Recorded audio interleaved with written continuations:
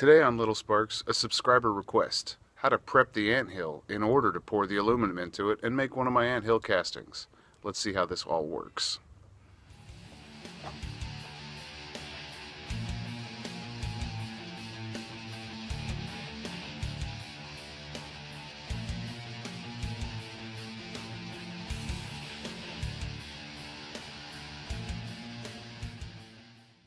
This is the anthill I'm going to go for today.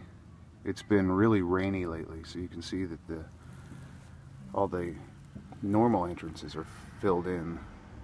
Everything collapsed, and it looks to be like no one's home. But I'm sure I'll stir them up.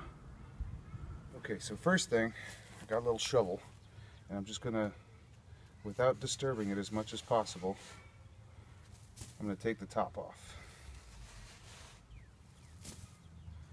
Now this is actually doing two things for me. One, it's creating an area for me to pour the aluminum into. And two, it's going to give me a nice flat top for the aluminum. So when I take it out and flip it over, it has a nice base to sit on. And I'm trying to not disturb the tunnels as much as possible. Let's see what we got.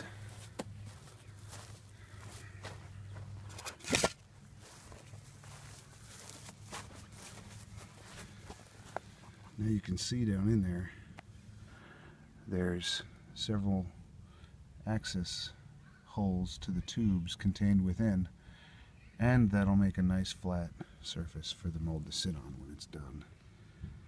And as far as prepping the anthill goes, that's it.